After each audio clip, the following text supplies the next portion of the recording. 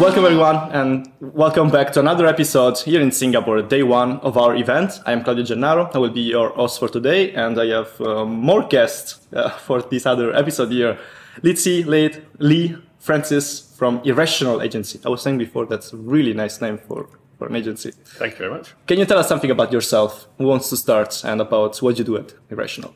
Uh, why don't I start? So I uh, am the founder at Irrational Agency. Started it in 2012. Uh, I'm a behavioural scientist and uh, I also a mathematician. And uh, so I founded the agency to bring some of the secrets of unconscious behaviour and psychology and behavioural science into the market research world and uh, using mathematics to model them so we could do it all quantitatively. and yeah, I'm joined here by Francis, who's a colleague of mine, and Lizzi, who is or was a client of ours until very recently. And uh, so, um, Lizzi, why don't you introduce yourself? Yeah, so I'm Lizzi. I used to work at um, Vodafone in the UK as um, head researcher of their products and services division. But I've worked with Leigh, I think it's about 10 years now. I think we've got 10 year anniversary coming up. um, so I first started working with Leigh and Irrational when I was at IHG. And um, yeah, that's how long. That's, yeah, it feels a long time now. Mm. But yeah, I, I it, the reason I now no longer work with Leigh is because I've just left Vodafone and have just now moved to Singapore. So I am available for work if I want to be. I haven't decided yet. Good. And Francis? Um, I'm Francis. Uh, I work with Leigh at Rational. Um, I'm a behavioural science researcher and senior research executive there. Work day to day on behaviouralising traditional market research uh, methods, and we use behavioral science throughout our research projects with different clients and work on improving those methods uh, day to day. So I'm totally in the darkness when it comes to behavior applied to market research. Can you tell me something about that? How does it work? Well, um, behavioral science is all about uncovering the, the unconscious aspects of human decision making. So everybody has got uh, things going on in their brain that are um, under the surface that you don't really know about and so traditional market research, you ask people questions. Say, tell me, would you do you like this product, or tell me about uh, how much do you recycle? Um, but that only accesses the the top part, the conscious part of people's brain. And uh, so behavioral methods are all about getting to the, the secrets that are hidden underneath the things that people don't know or they can't tell you if you just ask in a survey. And so we use all sorts of methods, both qualitative methods where we um, ask questions in a certain way to uncover the things that from people's past or the, the dreams or the, the um, thoughts that they have that they don't know, or we use um, online methods to get people's unconscious reactions to different stimulus, different pictures, different words, and uh, find out their some of their secrets. Um, Francis is actually here because he's um, developed a project about testing different types of research methods to see which ones are more effective, and so he's he's competing in the Young ESOMAR um, Award. He's uh, nominated for that. So, do you want to tell us about that project? Yeah, so as you say, we have a number of different behavioral science methods which we used. And uh, so what, what I did with um, my recent project is to test a lot of those different methods. Um, and that involved testing five different methods within a survey. Um, and what we did to test those is we actually brought uh, behavior into the survey. So what that meant is putting adverts, which we sell to customers in the survey, um, so usually when you put a survey to customers, you just ask them would they buy the product, and that's the end of it. Um, you get a seventy percent appeal score, and then you, you, put it to the client.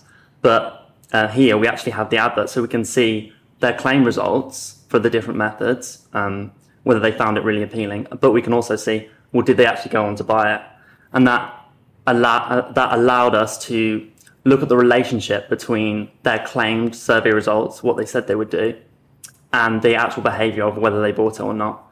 Um, and so we think it, offer, it can offer more insight by bringing that behavior into, into the research. And Lizzi, are we from the client side? Yes. Uh, yeah, we're Lizzi and I are presenting tomorrow about mm-hmm. some uh, new stuff we developed at Vodafone, a, a new innovation process. So mm-hmm. uh, Lizzi can tell you something about that. Yeah, so I joined Vodafone in 2020, and um, it was a very traditional type of research where despite the fact we were asking customers about products that didn't even exist yet mm-hmm. we were trying we were trying to um, sell stuff that we tried to explain in like two sentences and just hope they instantly understood it, then we would in effect say, how likely are you to buy it? And we and Vodafone would in the main take that data at face value. So when I kind of came into Vodafone, I thought that's insane because you can see by looking at previous studies where um, you know Vodafone has launched products that have been very unsuccessful despite the market research saying this will be successful and I suspect vice versa that some very potential products have been killed because mm-hmm. Market research said no we don't think customers will buy it whereas actually maybe they would if it was marketed or communicated in the right way so I think taking a behavioral approach when you're trying to sell something that doesn't exist is really important to try and get both at that conscious, but actually those unconscious motivations and really understanding your customer helps you have more confidence in potential new products and services that will hopefully make the company money. That's what it's all about. So without having to uh, tell any company secret to everyone, how do you uncover hidden behaviors? Well, what are some, some methodologies that we can apply? Um, well, we've got we've got three. pardon me. Um, we've got cold coffee. No, I'm all right. Thanks. Um, we got three things we're going to talk about tomorrow, and that, that we worked with um, Vodafone on. One of them is this idea of narrative qual. So, qualitative research often is about asking questions, uh, but instead we uh, get people to tell stories. So if they tell a story about their lives, a story about the, um, you know, how they use their mobile phone, uh, and we might share some stories with them to help them to open up, we, we find that people reveal a lot more in storytelling than they do in questions. Um, and then on the quantitative side, we use uh, a tool, among other things, a tool called System 3.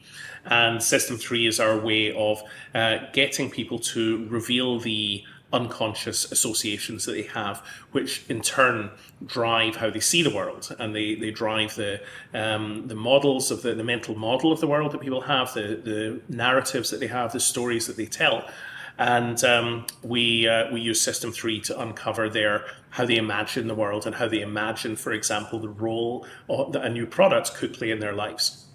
That's System Three. That's right. How about System 1 and 2?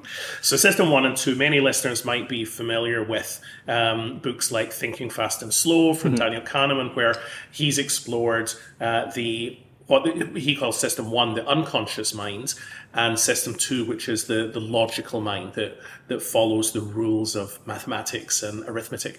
Um, we think that those two only cover part of the, the brain, and there's a, there's a third area, which is how people use their imaginations, how they tell stories. And um, we think that you need new tools and a, and a new model to understand that, and that's what we call system three. Yeah, exactly. So, uh, system one is it's more about quick uh, quick decisions that you'd make instinctively um, rather than like rational decisions which you take time over, deliberate over.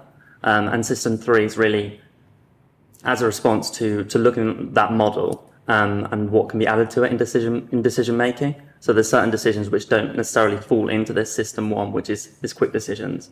Neither do they fall into like this long deliberation. There's a kind of when people make decisions, they um, the imagination aspect to it of imagining how they would use this product in a different scenario. Um, and so um, at the company, we're able to like tap into another kind of aspect of decision making, which isn't covered by those first two models, which is well known in which are well known in behavioral science, um, like more broadly uh, within the industry. There is no system four. Oh well, not yet. We'll, we'll leave that to the, the next generation of researchers to uh, discover. Leigh's working on that. My question is, coming from a mathematical background, how does it help understanding dissident behaviors? Um, so mathematics is very useful in a couple of ways. So all, all researchers use mathematics in statistical analysis, um, at least if you're if you're doing quantitative analysis. So there are some well-known tools for uh, looking at uh, comparing to uh, different groups of people, see if there's a statistically significant differences between them, uh, and many researchers will be familiar with that. Mathematics also allows us to build models, to build formal models of certain um, hypothesis you might have. So this this idea about imagination, you could talk about imagination in a very conversational way. You could say, well, people's imagination is is creative, it's uh, it's colorful, it's got images of the world. But you could also think mathematically, well, how would we measure the structure of imagination? Um, and that's what then allows you to uh, access it in a more quantitative and a, and a more uh, rigorous way. And so we draw imagination out as a kind of a, a, graph. It looks a bit like a mind map if you've uh, been if you've heard of mind maps uh, with different concepts and the connections between different concepts. Uh, and mathematics allows you to uh, build that model and to therefore um, measure and understand imagination or stories or narratives in a way that you wouldn't be able to do just from a conversational basis. Anything you want to add? Um, just on um, on System 3 the way it sort of understood uh, System 3 and came to know it and worked with System 3 is kind of when you're in that moment of making a decision, um, being able to think about the future um, through imagination um, to kind of visualize how that decision would, would impact you um, kind of later down the line. Yeah. I think from a client point mm. of view, hmm does do you find that mathematics and numbers make yes. it easier to sell an idea oh internally? my god yes so i would say probably with the exception of i mean slightly stereotypical here apologies but almost your marketing teams will love the narrative and the stories and the videos and the bringing the consumer to life your commercial and your product managers want robust numbers that they can put into a business case and have confidence that the um, huge amounts of money that they're going to invest in a product and ultimately in marketing as well will succeed. So absolutely, the number of projects that we've all, as you know, only too wellly, where we've almost got had the answers from the qual, mm. but we've had to do quantitative to tick the stakeholder box has been really important. And sometimes it has been a bit of a right. We know the qual is right, but we're going to do this just to help get that embedded in the organisation. And sometimes the pieces like System 3 or indeed going straight to something like a behavioural conjoint has taken us straight to those kind of numbers. There's no doubt about it. Numbers make people feel more confident about using insight research to make decisions. And can I ask a question? Mm, yeah. You may. So, um, so that that need for numbers is that down to they need to show someone the the that they're working with to like prove what they believe in. So I think say like, yes. I'm on board with you, but I need a graph to show to someone, yes. or I need I need something that shows this number. I don't. I think it took me quite yeah. a while in client side to realise, even if you think you're working with someone senior, they've got someone more senior that who will know very little about the ins and outs of the project. So the people who are actually working on the project will probably be really comfortable with something like qualitative and go, it feels right that's great. It doesn't help sell it if you need to go to the board and, and you can give them two minutes to go yes or no to investment funds. So yeah, absolutely. Every every every senior person has got someone else more senior that they need to convince and numbers that go big numbers but say yes do this are much easier than people sort of say that they, you know, those kind of yeah. those qualitative insights that are so critical in the actual implementation, but in terms of actually getting a go no go decision, are mm. really critical. Yeah, I often think that when sort of composing, working on the project, yeah. composing the report, when you've got like deep qualitative insights, and thinking, are these going to get lost when it goes to that senior level? Yeah. When they see that report, maybe they won't understand the full context, the full, yeah, the full qualitative insight yes. that you put into it, and what what they would yeah it, it sometimes yeah. can be a bit depressing when you see all that hard work yeah, and yeah. all that nuance distilled in One three side, numbers. But to be fair, if it gets it through, then actually that doesn't matter. And almost I have to kind of slightly remove myself from that almost, you know, the bias I've got from all the investment. But no, you should know about this and you should know about that. Actually, it doesn't matter. If the person who needs to make the decision makes the decision and then the rest of the team are empowered by the insight to um, implement it in the best possible way to maximize the success, then fine. That's a great tip with for, for dealing with, with client sides, how to present the project, right? Mm. So it mm. really makes it really makes a lot of sense. I guess it's really helpful to to know always perceive and what are the, the, the key information that yeah, needs to be yeah to be and you can actually use a little bit we, we had a webinar recently called selling insights where we talked about using behavioral science on your stakeholders because your stakeholders are consumers like everyone else. They have their own psychology and their own unconscious um, biases. And if you can use, for example, the what's called the authority bias, where well a scientist said this, so it must be true, then um, it go, can go a long way to making people believe what you're saying. Okay, we need to talk about AI.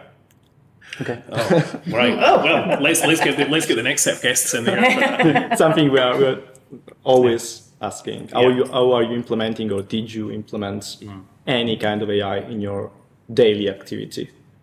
There's one. Well, Francis, do you want to talk about your project first? Yeah, so we've got an example of the way we use AI in the recent project that I mentioned earlier that we're, we're testing. So that's in, we did uh, sentiment analysis.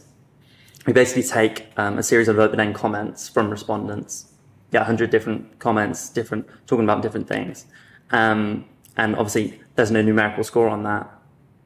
So there are like AI tools you can use to turn that into a numerical score um, in terms of their sentiment. So it would put a different um, like weight to if they say this product's incredible, I would definitely buy it. That would be uh, 0.9 out of between zero and one on the scale, and then you know maybe I would buy it might be like 0.5 for example. So there's AI tools that can do that quite rapidly, where pre- previously you have to well in, in other ways doing it without AI, you have to use like um, lexicon like models. It's quite time consuming to use. Um, so it can help quicken up that process. Um, yeah. What I'm interested in is almost use almost getting into the psychology of the AI. So treat the AI as if it was a person and see what's the unconscious mind of the AI going to do. Um, and if we can then teach the AI to think more like a person by saying, okay, we, we surveyed a thousand people, we got into their unconscious mind. We're going to program the AI to take those insights and then we can get the AI to act like a person uh, to act like one of, say, a Vodafone um, consumer or, or subscriber, and say to the AI, "Well, now tell us what would that person do in this new situation." Um, do you know? Uh, do you know if Vodafone had been doing any AI experiments? We're talking about its sites or synthetic data. Well, so kind of synthetic data, but built from real people's data. So yeah, programmed, pro- taking the real people to make the synthetic model. I think Vodafone was starting to look at it in the core business, less so in products and services. Mm. I think it was still very early days. I think we probably depended more on almost working with agencies who were offering AI tools. So there was certainly a little bit of experimentation, nothing that has revolutionized or mm. dramatically changed our, the approach that Vodafone, that the part of Vodafone I was working mm. with was using. But I think there, I'm sure there will be. I have actually used um, some AI to create the images for tomorrow's presentation. So um, we've got uh, a few. Uh, uh, actually, I haven't shown you this, Lizzi. but I've made a rendering of you as the, the hero of our, of our journey fighting the monster. Oh my on- god, I the love. AI already. the- I mean, yes, my main use of AI is actually rewriting very badly written concepts for my stakeholders. So less for research, more for um, improving what should be should be bread and butter for some of my stakeholders. So actually, it's been it has been very useful, but yeah, probably not in the way that um, it will be in maybe a year to two year. Yeah, and we, another use for it that we have at the company, not specifically within project work, but note taking in kind of from meetings. You can get the AI, AI to do that. I think they've, uh, they've actually now integrated it within Zoom. There are other platforms that do it, um, like create like summaries and next steps to do. Um, you, you can imagine using that in actually like research with qualitative um, research, but um, based on some of the AI results we've had from the meetings, I don't know how successful that would be. Uh, probably about 80 or 90%. To be fair, um, sometimes when you get a person to take the notes from the meeting, they only get 80% right Yes, anyway. So, you know, it's not really much worse. Yeah, I think they get it wrong kind of in a, in a different way. That's true. Yeah. Yeah. Yeah. Is there any, any specific tool that you wish you had and you don't have yet when it comes to AI? Ooh. I think, well, you're asking us to invent the next uh, AI startup here. And, uh, copy, we copyright it. so- well, yeah, we, maybe we should keep that to ourselves. What do you think? We should- Yeah, Instead of giving away our, our ideas to It's all of mine the anyway, listeners. yeah, yeah. Um, I would. Um, I think I would like um, I would actually like to put an AI into the hands of some clients so that when they ask a research question, um, it will first it will find if they already have the answer in their existing library because you know Yes. as, as you will know there Yeah, could be hundreds yes. of studies in a client that um, already answer a lot of questions but then it will tell them okay here's the gaps where you could do with more data and uh, then it would come to us with that gap and say here's exactly what you need to the gap you need to fill to help this client so that would be a nice way of um, helping the helping the client to work with what they already have and enhance it with the extra insights that we could provide.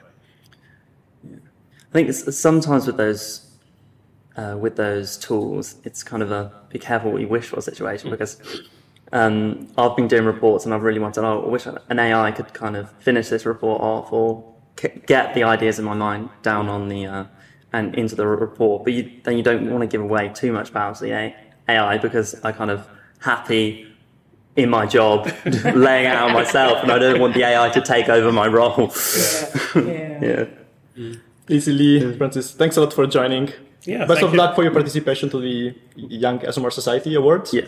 Thank you. And hope you you will much. enjoy the rest of the conference. Yeah, lovely to meet you. Thanks a lot. Thank you. Bye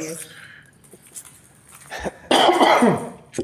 All that. How do I vote for Did you like it? Ah, Oh, yeah. well, there you go. Have Have you you got got the the app? No, of